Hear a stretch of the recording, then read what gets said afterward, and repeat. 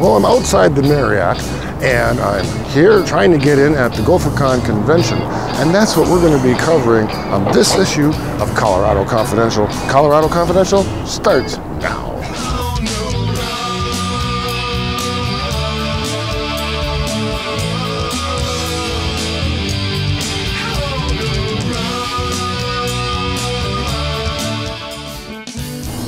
Now, GopherCon is a convention of people who utilize the Go language. Now, the Go language has slowly been getting picked up by Google, and you're starting to see that type of code all over the world. It's being deployed all over the world, and today and yesterday has been the Go language GopherCon Worldwide Convention. Now, I'm going to try to get some interviews with some of the participants and see what this little get-together uh, meant to them. So, uh, can you tell me your first name and where you guys from?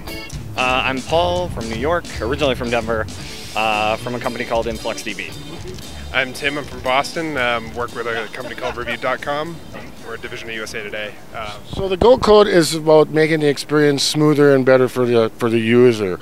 You guys as coders, how how do you use it? If you can explain it in simple terms, in what you do.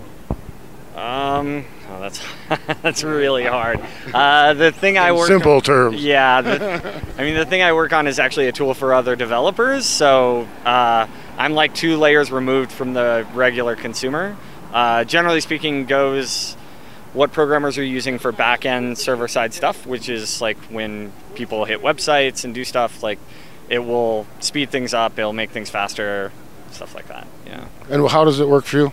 Uh, well, actually, we recently uh, just brought Go into our um, our systems. Um, we had originally um, written a search service using um, our existing API in uh, in Rails, and um, we were really looking for something that would provide a better search experience, faster for for users. Um, and we uh, turned to to Go to help modify our, our request a little bit to uh, prepare the data better for users but still maintain that um, really high, um, I mean, the really low response times. Um, we're getting something around like 50 to 70 milliseconds, um, which basically gives you the experience as, as you're typing and searching for uh, product reviews and appliance reviews, um, you're getting those results back immediately.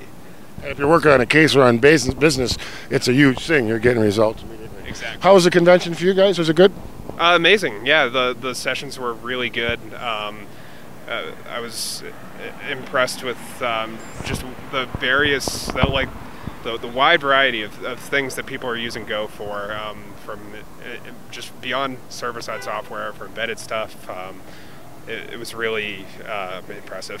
Hi, I'm Matt. This is Tyler. We're from Stretchr, uh, which is a um, uh, data startup, and it's actually built using Go. And so GopherCon for us is important because it's this language, this new language that was designed for exactly the kind of problem we're trying to address, uh, which is infrastructure, servers, cloud, all that stuff. Um, and actually, uh, I think people care should care about this because um, a lot of the uh, a lot of the things that power things we use every day, things at Google, just general websites, web services, um, it's made by the people that were in that building for the last couple of days. And that'll actually help. I mean, it makes the user experience more pleasant. Yeah, the, the you know uh, the the simpler that we can, the easier that we can write simple, elegant code, the better the experience is at the end of the day for, for users, and the more power and the more features and things that we can bring um, to everyday people at home. For you guys, how was the convention? Did you get a lot out of it?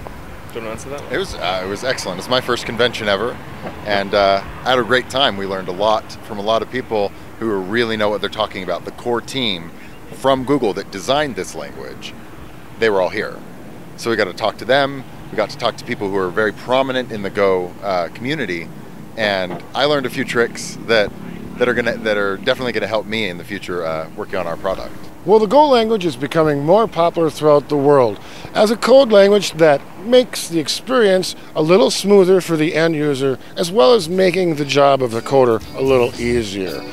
The convention seems been quite a success. So, from here in Denver, Colorado, at the Marriott, for Colorado Confidential, I thank you for watching.